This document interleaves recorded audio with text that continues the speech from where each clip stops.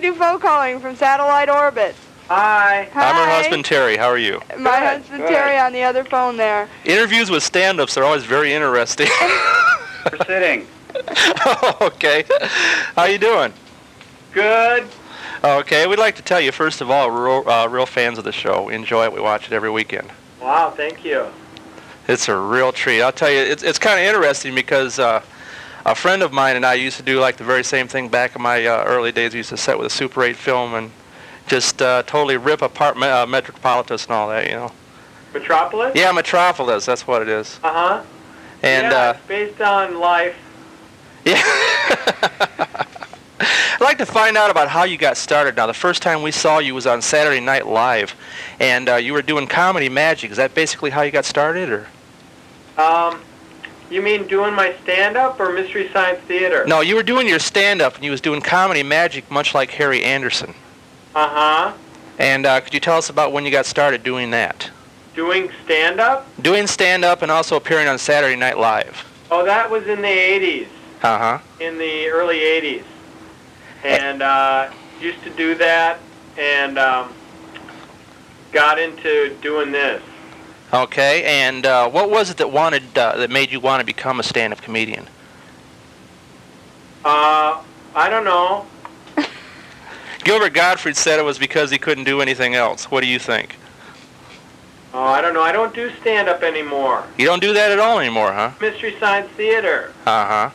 Okay, on the show, how did you first meet everybody that you're involved with in the show? Were they old school buddies of yours, or was it just a uh, group that you got together for the show, or how did that come apart? Well, Jim Mallon, who's the producer of the show, Mhm. um, uh, uh, approached me and he wanted to do a local comedy show in Minneapolis. And uh, I had this idea for a show, and he liked it. and Kevin and him, who does Tom Servo, already had been doing a lot of local TV, doing uh, parodies and stuff on this little um, independent TV channel, Channel 23 Mm-hmm. and Trace and I were in a writing group, and uh, we were about to do the show, and I knew Trace. I liked the kind of stuff that Trace was doing in the writing group, and so I invited him, and then he became Crow. And Okay. Dr. Clayton Forrester. What was it that influenced you? Were you a science fiction fan? Uh, yeah, yeah, not deep.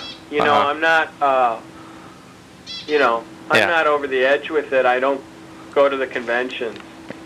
Is there any particular favorites you might have enjoyed uh, in a TV or movie line in that genre? Uh, well, I- liked anything that was about fantasy. Mhm. Fantasy stuff I like. It's fun. What about the character name of Robinson for Joel Robinson? Was that perhaps influenced by Lost in Space because they were Robinsons also, or? Right, right. Yeah, I, I got that right away. I thought that was really funny because every time you think of somebody stranded in space, it's the first thing that hits your head is Robinson. Right, yeah, that's what it's from. Because I looked like him when I was a little kid. really? Yeah. do you think that uh, MST will achieve, or do you want it to achieve, the cult following that usually comes along with shows like this, such as uh, Star Trek or whatever? And I'm putting you in a good comparison there. I think it's already got a cult follower, uh, following. Uh, Uh-huh. we've got, what, 5,000 fans? Wow. 7,000 7,000 fans in the fan club. Great. We're, we're one of those. Yes. Oh, thanks. Or We're two one of of them. Two of those, excuse me. Two of those. We're two of those. As well as that, Joel, we have also got in waiting right now a subscription to your Mystery Science Theater Comedy when you Central. Comedy Central when you guys scramble in December. And it has been in, in holding for for 6 months. Yeah, just for your show. What, what's that? I Okay. don't understand. Okay, uh, Joel Lyons didn't understand this either. You folks are going to be scrambling in December. Because we have a satellite okay, dish. we have a satellite dish, so we pull you in direct, okay? We don't go through a cable company. And in December, you guys are going to be doing what they call scrambling, which means any satellite dish owner has to subscribe to the network in order to receive your show. And we Oh, have I to see. we have to pay for that subscription. Yeah. We've had that in holding for six months. I didn't want to miss the show. And we've had it in holding for six months, so we wouldn't miss Mystery Science Theater. Well, that's great. Amongst your audience, uh, particularly people that you have contact with through the fan club and that, what ages do you seem to attract? All ages. All ages, so it's adults and kids and everybody, huh? Yeah. Do you think of your show as, as more of a kiddie type of show or, or an adult show, or is it one that just expands all, all ages? Well, I think it's. I really. We don't direct it at anybody. Uh-huh. We just do what we think is funny, and um, it, it. I I don't really know. To me, it's really not. I mean, maybe it's me, but I don't really think of it as a kiddie show like Yeah. Pee Wee's Playhouse or something. I don't either. It's, it's real different. It's it's for everybody. It's like something. You know, it's like if we were putting on a show for I don't know, a group of people that were all different ages, we'd do Mystery Science Theater. Yeah. When you So we think, don't really direct it. Um, I guess when we started, we assumed that it would be like college kids and Yes. videophiles and people that were really into bad movies, Mhm. but it turned out to be a lot broader than that. do you think this is something that's popular because of it being the 90s and there being a big cult following and, and uh, people watching things that are corny and are bad, which are so bad they're good? Do you think it would be as popular as if it was on, let's say, in the uh, 50s or 60s? No, it wouldn't have worked then. I think the reason why, one of the reasons why it works is that people are so saturated with so many choices in TV and movies, and they have a, a lot of savvy, savvy, um, as far as that goes. That it's a show that, it's the first show that kind of starts turning on itself and making fun of what's Mhm. going on. So it's, I think one of the reasons it works is because there's so many choices that it, you know, it wouldn't be on NBC in 1961. Yeah. know. Do you think it's something that works best on cable? Uh, works best on TV. Absolutely. uh, when you presented your show for sale, is Comedy Central, when you went on a broad base of going national, is Comedy Central, which it was under another name at that time, uh, several names in fact, uh, were they the first ones that you offered it to? Yeah. And did you have them in mind? I mean, did you sit down and say, hey, this place is an up-and-coming network and it's going to be great? What did you have was in mind? We, I knew some of the people that were working on it. Mm-hmm. It was just an uh, an in that we had, and so we tried it. Okay. And one thing that's very unusual about yourselves is, is uh, you maintain your own production facilities. Is that right? Yeah. That's kind of unusual. Do you think that that uh, works out quite as well as if you were in the big old New York or Hollywood area? Oh, it's a lot better. Uh-huh. It's just great because we. Uh, there's no pressure, you know. It's like Yeah. we can take as long as we want to shoot the show, and uh, uh, and as long as we want to build props and put them in the space, and there's just not that craziness as on the coast when you're doing a production. It's a lot. We lead a real good life. We get in at 9:30, and we're often done by 5:30. Now that's your very own building, or are you in a local TV station somewhere? It's our own building. Great. And of all the people that uh, works there, a lot of them has many different hats too, don't they? I mean, in the credits you can see that, that one person will do three or four different things. Do you think that works out real well, or is that by choice, or? Well, there are a lot of people that do a lot of different things, have a lot of different talents. And Mhm. when we started, we were pretty small, and uh, there weren't a lot of people to do all the different things. And it- it's kind of fun to get to uh, be able to work on like a set one day and write the next day. And Yeah. And who built the robots? Um, I built them uh, at first, and uh, and then we all kind of it's kind of like everybody. Each puppeteer maintains their puppet. Trace uh, added a a lot of the stuff on Crow, and uh, Kevin maintains Tom Servo, and Jim maintains Gypsy. So it's kind of each guy does his own thing now. And how did the idea for the robots come about? Uh, one of them appears to be uh, manufactured out of a gumball machine. Is that right? Uh huh. And the other one, what would that be? Like sports equipment, or? Yeah. Yeah, Tom Servo. Well, it's just uh, they're just collages of uh, of stuff, Uh huh. plastic stuff, and uh, uh, they don't really follow a theme. It's just just a bunch of junk that looks good together. Are they the uh, hand puppet type, or are they like animatronic, electronic, or uh, how are they operated? Those are rod puppets. Okay, much like the Muppets. Um, kind of. There's there's not a the operator's hand doesn't go inside the puppet. They're operated by uh, rods and cables from outside the puppet. Uh huh. Who am I talking to here? I'm talking to two different people. Uh, I'm Trace. Oh, great. Okay, glad to have you on here. I wasn't aware you were on here. Okay. And uh, how do you pro- pronounce your last name? Is it Baloo or? Yeah, that'll do. Okay. When you were doing the shows, uh, is there a lot of outtakes?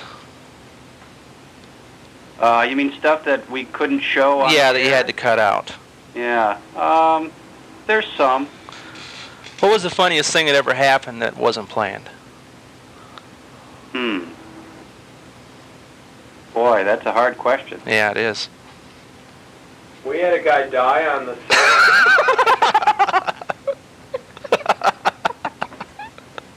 Nothing really uh, unusual. We, uh, you know, it's our job. Yeah. We, uh,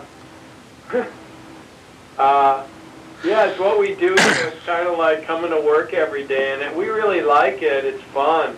Yeah, you can see that. It definitely comes across. You guys are definitely having a good time. Yeah, we. Uh, I think uh, we have to live with each other, so we're not too nutty. Yeah. We have to be with each other every day, so we we've learned to. We save the nuttiness when on our off time sometimes. Well, you have to have a good attitude living in Minnesota because it's beautiful, but you tend to freeze there too. I know that for a fact.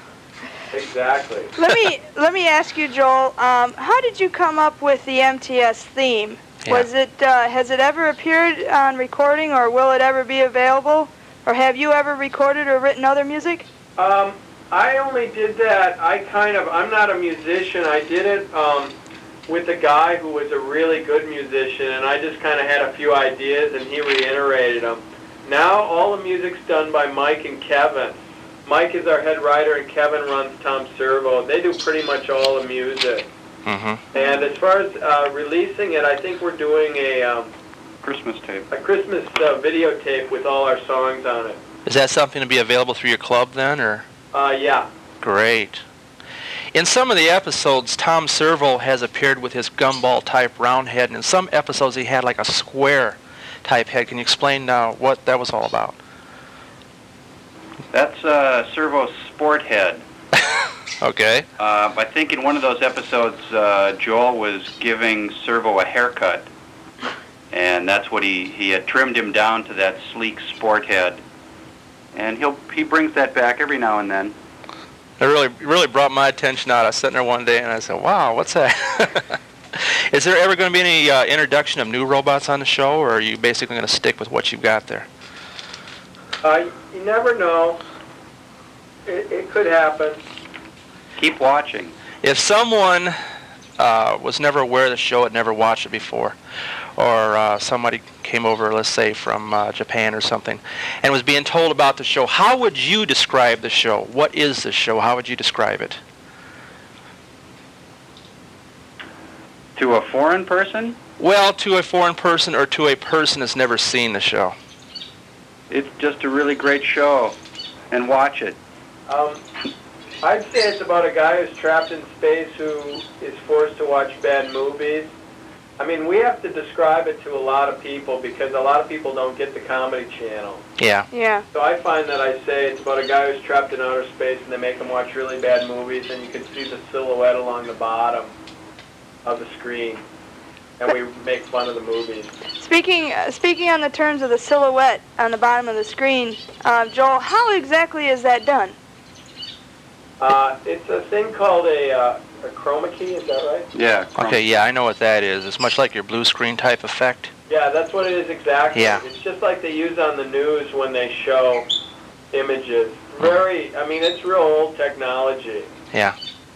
And then we're sitting against a big blue wall and we're watching monitors at our feet. And that's how we can tell what's going on in the movie. And we also have scripts with the time code so we know what lines to say. Well, that's kind of neat that you guys actually, you know, watch the films rather than just uh, having someone take notes or, or something for you. I know for a fact uh, Gilbert and Rhonda of Up All Night. Gilbert does watch movies, but Rhonda doesn't. And it, it's good that you watch the films. You evidently must like them also, huh? Uh, Some of yeah, them. It, that's a really fun part of the show is watching the movies and make. It's probably my favorite part of the show, ma- watching the movies and making fun of them.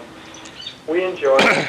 Was there ever a movie that you had that uh, defied making comments about it? That you just couldn't really think of anything to say about this movie, and you said, "Well, Trace or whatever, let's forget this film. It's no good. We can't use it." Uh, we reject a lot of films um, in the selection process. We go through about, well, for every 10, we get maybe one that's even suitable. hmm Um, but once we've decided on them, uh, we've, we've screened them to make sure they're suitable for what we're going to do. hmm What what is uh what is it that you do in that process as far as choosing them? How what is it that The uh criteria. yeah what is it that uh allows you to say well that's a good movie? Oh, What- what are the things you look for? Good, uh, recognizable has-been movie stars, Mhm. people whose careers were once bright and promising, and now they've just augured in. Um, then, then it's kind of up to whether we can get the rights to them. Mhm. hmm We select them, we like them, and then they tell us we can't get them. I heard uh, on an interview on Comedy Central that Joel did with uh, Allan Havey that when you guys strive for your film packages, a lot of times you will ask just for the really uh, rotten ones, you know, the really bad movies. And uh, that comes as a surprise a lot of times to the packagers. Is that right? Um, well, it's unusual uh, because usually what happens is the people who package the movies, they'll take 13 good movies Yeah. and package them with 13 bad movies, and we tend to want the 13 bad movies. Yeah. So it just gets confusing for them uh, because they want us to be paying for the good movies and we can't use the good movies. Mm-hmm. Can you name some of the movies that you particularly liked, both of you there? Rocket Ship XM, Oh, that's a classic. uh, Ring of Terror. What was that Ator movie we did? Ator the Fighting Eagle? Uh, yeah, he he's flying in a giant furry uh, hang glider at one point. Yeah. Um, I like the Amazing Colossal Man. Uh, I was really surprised to see the Sam Arkoff movies on your show, like Amazing Colossal Man and so forth, because while they're all bad movies, those are really the cream of the crop, and they were really good. You know what I'm saying? I mean, they were real classics. yeah. Um, They're not something you'd find in a public domain bin. In other words, what I'm saying, you know. Yeah, um, it's just it's funny to us too because we could get them. Yeah. We, apparently, the demand is not high for those movies, and we were able to afford the the lease on them. Uh huh. So it's like nobody. Uh, we were there, we were very surprised to get those too because you'd think people were really into uh, those things, but they were they were affordable to us, so we got them. Hey, you're going into your fourth season now, is that right? Or Yeah, next year. uh huh. And when will the uh, first season show start for the fourth season? Yep. About when will they start for the fourth season, the first show? Uh, I don't know when they'll start airing. We'll start producing them like mid-January. Mm-hmm. And this idea that you guys had for making comments for the films, is this something that you guys did uh, at a younger age at your friend's house or something like I, I told you earlier that I did a long time ago? Oh yeah, I think uh, you know it's a great day when a kid realizes it's okay to talk back to the TV. It's fun. Someday it'll be interactive TV. So yeah, I, I I think that I think that's why the show is so popular is Yeah. because everybody identifies with that. Everybody has done it, and everyone will. As long as there's TV, there'll be people talking back to the TV. Do you and Trace ever find yourself at a friend's house and they're showing a film or something's on that everybody's really interested in, and you guys let out with a comment, and they're saying like, "Be quiet" or something. We want to hear our show, you know? Oh yeah, I get called on that a lot, mostly from my wife. leave your work at home, or leave your work at work. Yeah. what about you, Joel? Um, I guess I don't know. I uh, I guess so. Uh, I'm um, not when it's a group though, because you're kind of it's what we do. Yeah. It's kind of like, you know, if you do it for a living, you don't want to do it in real life. It tends to be, you know. But when I'm at home, I, I can do it. I mean, one thing I've learned is I've gotten a lot better at it Uh-huh. uh, over the years than when I started. When we started, we had to improv the show. We didn't we didn't do it on tape. Well, we we didn't practice it like we do now. And I was Trace was a little bit ahead of me because he had done improv, but so I kind of started at the beginning. I I didn't really wasn't really very good at it. Mm-hmm. So um, Are you married, Joel? no, No. Okay.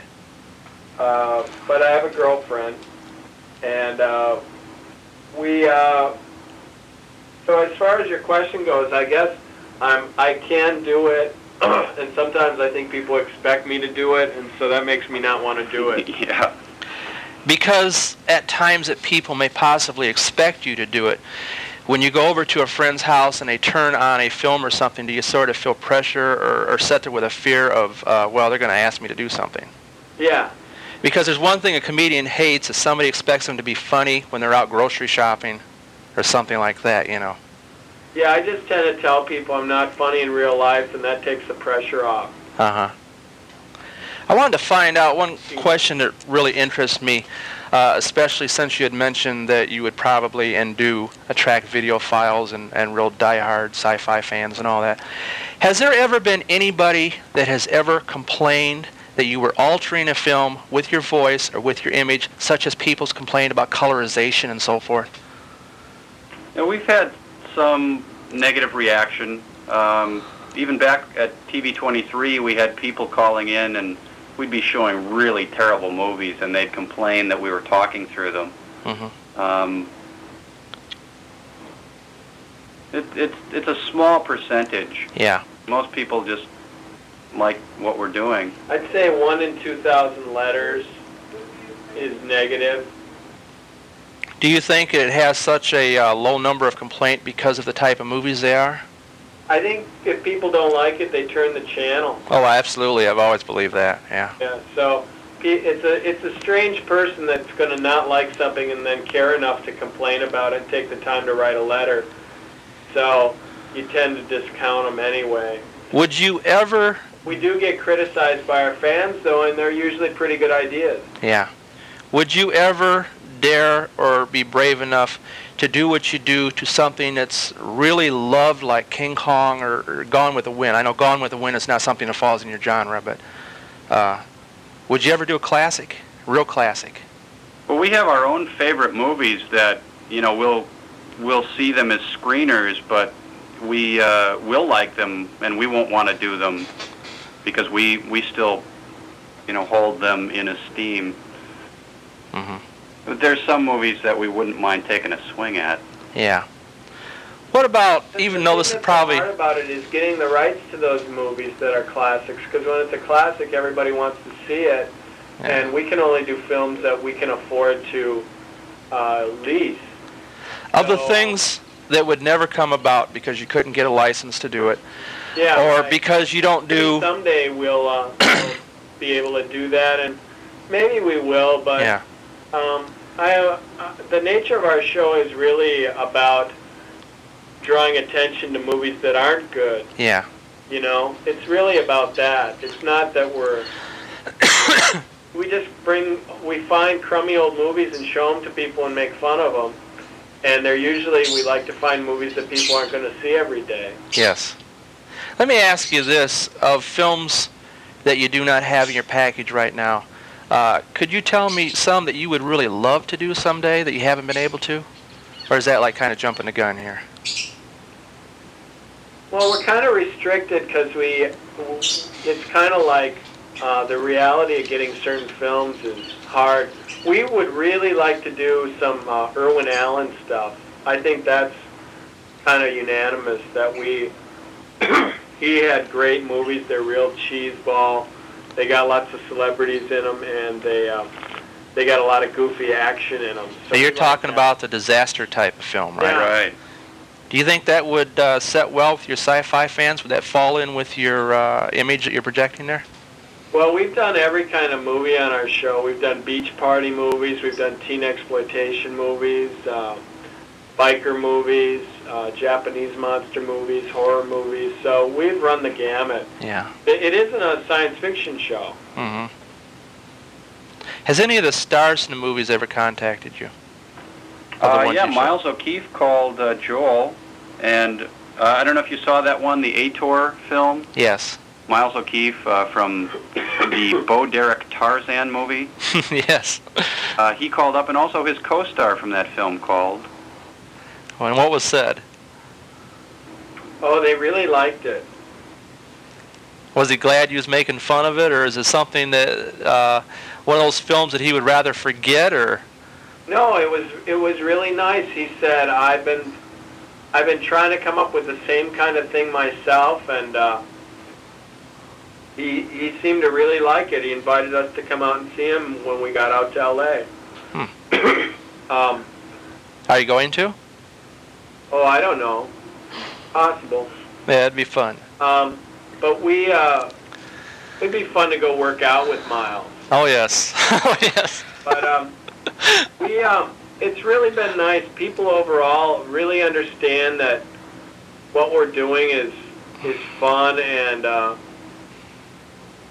we're not too hard on people. We I think we could be a lot worse on people. I mean, there are a lot of other comics that are a lot more harsh on people. hmm Joan Rivers, for one. You know, we're we're fond of these movies, and we're mostly making fun of the worldview that the guy who made the movie had. hmm We're making fun of the director and the choices he made, and the, we're kind of making fun of uh, the white male reality of the 1950s and 60s and 70s, and so people understand that, and it, it, it, I think that's one reason why people like it is they they know they get a feeling that it's good. It would be a great possibility someday that uh, if any of these stars in these films could drop in as a guest too.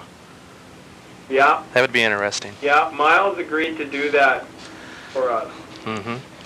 At the end of the show in the credits, there's a phrase, keep circulating the tape. Does that have a special meaning? Um, we're just encouraging our fans to, uh, if they're taping them, to uh, send them to friends who don't have the channel yet. hmm Um, that started, I think, uh, even back in at 23, people were taping it on their own and sending it out to California to friends and to New York. Um, it's like, you know, when you guys get your satellite descrambled, Mhm. you'll have access. But there are a lot of people out there who still don't get the show. Yes. Well, I'll tell you, your show's been very popular, uh, especially the satellite dish owners. It's been unscrambled for a year, and of course, you know, with costs and everything, I can understand how they have to wind up getting their subscription fees. But there's been a lot of good comments about it because uh, it's a good show. I think it's on a very good network. Wow, thanks. Why do you think your show has lasted on that particular network when a lot of the show hosts on, uh, let's say, the Comedy Channel or Comedy Central, whatever name it was in at the time, did not last, such as Tommy Sledge and, and so forth like that? They didn't quite make it. And your show did. Your show was there right from the beginning, and it's lasted. Why do you think so? Well, we don't host clips. Uh-huh. We are a separate entity. We did it all ourselves, you know. We um, we didn't have a lot of intrusion, and so we just did one thing and tried to do it as good as we could, and it seems to have worked. And you're not on local TV anymore, is that right? Minnesota there? Right. You can get it. It's on cable in Minnesota. Uh-huh. And uh, when you decided to go network, did you just up and tell the station Minnesota, well, we're going on uh, network national now? Uh, or was that a situation to where the show was already going to be going off of the local channel? Yeah, we were off the channel long before we moved to the comedy channel. Uh-huh. And that, you said that station's from Minnesota? I mean, uh, uh, main, Minneapolis, the main city there? Or? Right. Okay. What can be expected for future shows? Is there anything that uh, could be surprising to people to hear about what's up and coming? Uh, there's a Turkey Day special coming up on Thanksgiving, uh, 30 hours of Mystery Science Theater. Seriously? Yeah. Oh, great. I love marathons. I love marathons. Yeah, it should be something. It's going to be wonderful. How many shows have you guys produced already? Uh, it'll be 50 at Christmas time. We're probably at, Or yeah, I don't know, forty something. must be 42. And do you sign contract for one season at a time, or how does that work? I mean, I, believe we have an agree. I'm. I don't really know. Yeah, for 80 shows. Yeah. Is that right? Something like that. It's like we made an agreement for 80 shows. Mm-hmm. So we'll have 30 after Christmas. Okay. We'll be making this show for the next two years. Well, that, that sounds very promising. Let me tell you, that that's nothing to worry about. It's great having steady work. Hey, you know it. Let me ask you about when Michael Fuchs showed up. What was that like? Chairman for HBO. It was really nice. It uh, it it was fun to have him come out and kind of uh, give his benediction. And uh, Were you nervous? um, yeah, sure, somebody like that, you're always afraid you're going to trip and break their arms or something, you know, fall all over them or blind them. I'm always afraid I'm going to accidentally blind them, and that would be really bad. Uh, but that's a problem. Yeah. he, he it's kind of like it was just great because we knew that that was going to be meaningful to a lot of people. Uh, just it's good for business. What's he like? I know you probably want to tell me he's this really great guy and everything, but what's he truly like? Um, well, he's a guy who really works hard and he's Yeah. really into work, and so he, um, you know, he's he's a he's a big shot, and uh, he's uh, you know he was really nice to us, and uh, he seemed to really enjoy being here. But you know, he is uh, like you know he's he's like really powerful in the business, so you kind of like go. You kind of you don't really treat him like I don't think you you treat him like you would just anybody. I hmm think you kind of people tend to be a little bit guarded around him. Did he ever mention to you someday uh, having the show produced out in New York, or is this something that you've told him that you would want to stay in Minnesota there? No, it'll always be done here. hmm He Is- I don't think he cares. Yeah. Well, as long as he gets the same high quality he's been getting, you know. Yeah, he doesn't care. It's better. It's better the way we do it. I think that that they really they found that that works better than doing it in New York or L.A. because we have a different point of view. And you're all born and raised in Minnesota, is that right? Uh, the Midwest. Uh, Mike and Kevin come from Chicago. Uh, I'm from Wisconsin. Uh, Paul, our new writer's from Chicago. Frank's from New York. Trace is from here, and Jim's from here. Mm-hmm. Let me ask you about the MST fan club and some of the things that you offer. How did this come about and uh, so forth like that? Uh, how the fan club come about? Yeah. Um, well, we wanted to offer uh, quality merchandise. I, I don't know. We we started. We had a, a phone number when we were at the little TV station, uh, a number that people could call, and that just got swamped with calls. hmm So then we went to uh, putting the address on the screen for people to write in, and that that was a wonderful thing to get response from people and drawings from kids and drawings from adults and things, and uh, it just grew from that. Uh, we offered a uh, a membership card when we were at the the TV station, and that was real popular. Um, in fact, uh, Jef Maynard, our our prop master, uh, has a card. He was a big fan of the show when we were on locally here, and and now he has a job here with us. Oh, great. Oh, Fans turn into employees, that's great. But it, it's been real successful. The fan club. We've got seven thousand people in it. I got a real kick out of your uh, flyer for your products because, as well as your products, you have the phony ads for the uh, products like was advertising the old comic books and that. Right. Yeah. Yeah, that was. Uh, Your giant balloon and your monsters and Trace did that. that's great. that was a direct ripoff of all those uh, comic book ads we knew as kids. Yes. I don't imagine any of these companies are in business anymore, are they? Uh, that I think that was like from a 1952 Mutt and Jeff comic book. Okay. Whoa. This is still up and running. and out of the fan club kit, probably the thing I got the uh, biggest kick out of was a little silhouette you taped at the bottom of your screen, and of course a high quality robot. Thank you. Let me let me ask you, Joel. Speaking of the silhouette that you have in your fan club, do you make them certain sizes by chance for those that have a 55-inch big screen TV? Uh, oh, you mean the uh, the home viewing simulator? yeah. She's making a joke here. She's making a, a comment that looks kind of small on our big set here. Oh, I see. I've got a 55-inch screen. Yeah, we we we tried to make it as adjustable as we could. You can always use your Xerox machine. There you go. I wanted to find out too here. Uh, as I said, it is available to satellite dish owners, and it really sounds to me like you guys really want everybody to see this show, to where that you are asking people to even circulate tapes and so forth. What's your feelings about satellite dish owners uh, getting the program? Because we are satellite dish magazine as well as to uh, cable people. Can I get some feelings on that? Oh, we think it's great. We we are uh, we're fond of uh, however people you know. We just like it. Once we provide the show to the Comedy Central, you know, I'm sure maybe they have an opinion on it, but we don't. We just like it when people watch the show. Mm-hmm. We're into technology. We like all kinds.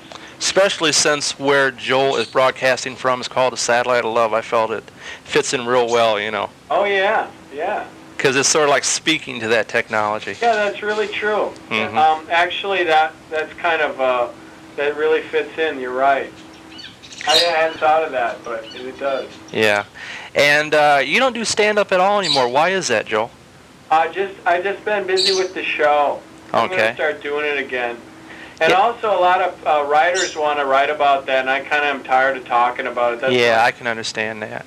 Kind of steered it away to talk about the show. Let me let me ask It's a long time ago. Yeah. Let me ask you, Joel. Um, being a movie host yourself, okay, um, with with Mystery Science Theater, do you watch any other movie hosts, or do you have any favorites, such as Up All Night, say with Rhonda Shear or Gilbert Gottfried, or, or Or even some of the really old ones like some of the real Zacherley, Zacherley or anything or like new that? ones like Elvira or anything.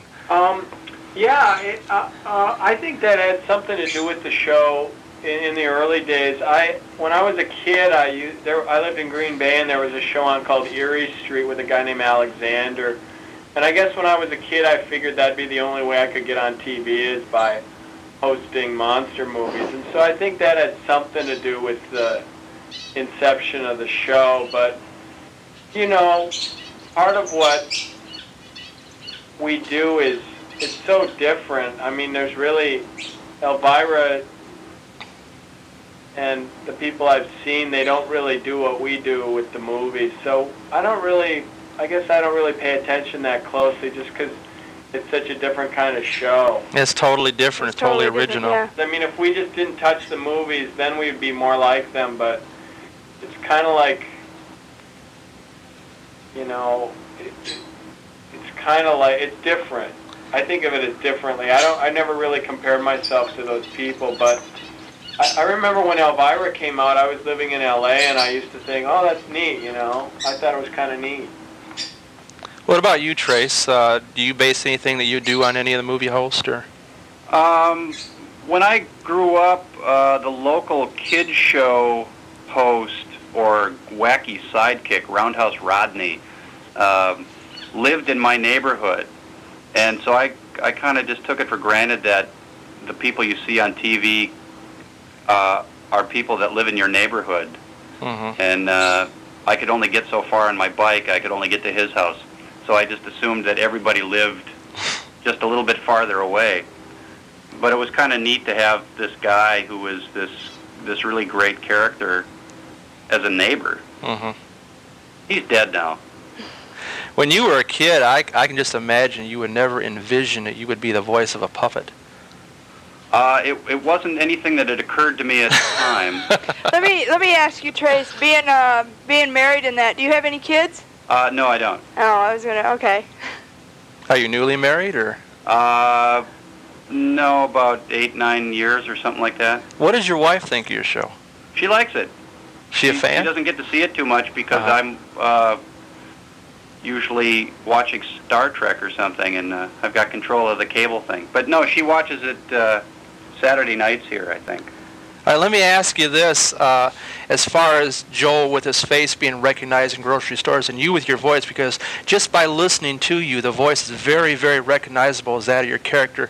Where with Gilbert Gottfried, if you ever talk to him in person, the voice is totally different than his character, what he does. Do you ever get recognized in stores and shopping and so forth? Asking both of you here.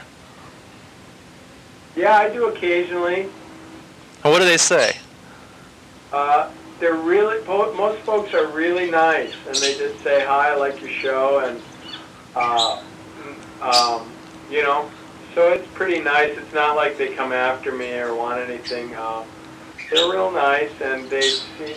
I think that's what's so nice about our show, kind of having a, like Trace says, it's they when they discover it themselves, they treat it a little more special than if it was like a big network show and it was kind of jammed down their throat that this is a big deal. And so our fans were really fond of them. We're as a group, they're pretty. We think they're pretty great, and uh, and they're really nice. People don't. Uh, people don't make me feel stupid in public or anything. They're real nice and friendly, and they they know when to. You know, they they just are nice. So it's been a real good experience. So you enjoy getting approached then at times, or? Uh, well, it's kind of like a necessary evil, you know. It's kind of like it comes with the territory. I don't. I guess I don't enjoy it. It makes me kind of self-conscious, but at least the people who come up are nice. Especially if you ever run into a situation of the one reason why Paul Newman never gives autographs. He was asked to give an autograph one time while he uh, was standing at a urinal. Oh, really? Yeah, that could be a little bit bothersome. What about you, Trace? You, you ever? initial it, right? Yeah. what about you, Trace? You ever get recognized for your voice in that? Uh, not really. Uh, people don't make the connection. I look completely different than the scientist, and so I don't get Yeah. recognized that much. Uh, people that I've known for a long time are just now getting it Yeah. that I'm on this show, which is cool. I Yeah. I was sitting in a, a restaurant the other night listening to people talk about the show, and I could be kind of a mouse in the corner and listen to them. Uh, listen to the man on the street and what Mhm. his opinion is. How much different do you look than Dr. Clayton Forrester? Um, I'm shorter, and I, my eyes aren't blackened in. Yeah. Uh, otherwise, I'm pretty much the same. Are those your real glasses? No, no, those are. Uh, I don't know where those came from. Do you wear glasses at all in real life, or? No, not at all. Okay. And how would you describe yourself, Joel, as compared to Joel Robinson? How different are you? How alike are you? Well, um, I don't know. I, uh, I don't know. I kind of it's it's the way I act in, when I'm on stage or on TV. Uh huh. uh, I, uh, I I'd like to think I'm more dimensional Yeah. than Joel Robinson, uh, but uh, I think he's probably got. I have a shorter temper than Joel Robinson does. Joel Robinson is a lot more uh, uh, paternal Mm-hmm. maybe than I am. Uh, but you know, it, it's really hard for me to say. I'm different though. Do you think that something would work like this on, let's say, uh, a home video market uh, as compared to being broadcast over network television every day? Perhaps even MST the movie someday. Could that ever come about? That's possible. We're working on it. We've already written a movie.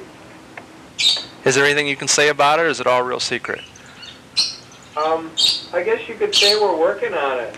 Okay, would it be the same type of format to where you would be uh, talking in front of a movie, or would that only be in selected scenes and be mostly story involved with you guys?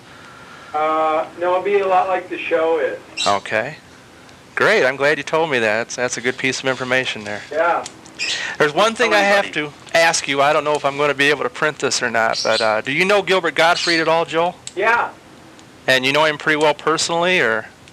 Um, I don't know. I gave him a ride home once from the club, and I ran into him once backstage at a concert. Uh-huh. So I just have uh, met him a few times, hung out with him a little bit. I asked him to comment on other movie show hosts, and he started off first of all saying, "Well, there's nobody better than me."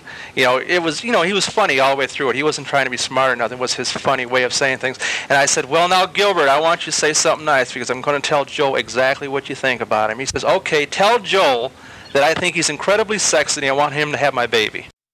Yeah. Yeah, um, he's a. Gr- if you ever get a chance, he's really good live. He's a. gr- Yeah. He's really brilliant. It's very hard to do a straight interview with him. Everything is is really Definitely. one of the wackiest things that we ever conducted. It was really something. Crazy. Yes. Well, I thank you so very much for talking to us. Let yeah, me, um, well, uh, make sure you send us a copy if it gets done. Absolutely. Okay, let me uh, real quick, Joel and Trace, while you're there, um, and that speaking of the story in that we will probably uh, have the chance to mention some of the MT or MST uh, merchandise in your catalog and things like that. I was wanting to find out if it might be a possibility that we could have sent to us a 8 by 10 photograph with each and every one of you guys autographed on it, and also about three T-shirts from Mystery Science Theater. Uh, yeah, let's. You know what you should do is call back and talk to Jan, uh, Jan Johnson. Okay. Jan Johnson, she runs the fan club. Okay. Because we'd have to go and set that up with her. So I'll go tell her you'll be calling. Okay, that'd be great. Okay. Thank you, Joel. I appreciate talking and to you. And we will be sending that copy to you. Okay. Great. And thank you, Trace. Thank you. Bye-bye. Okay, Thank you. bye.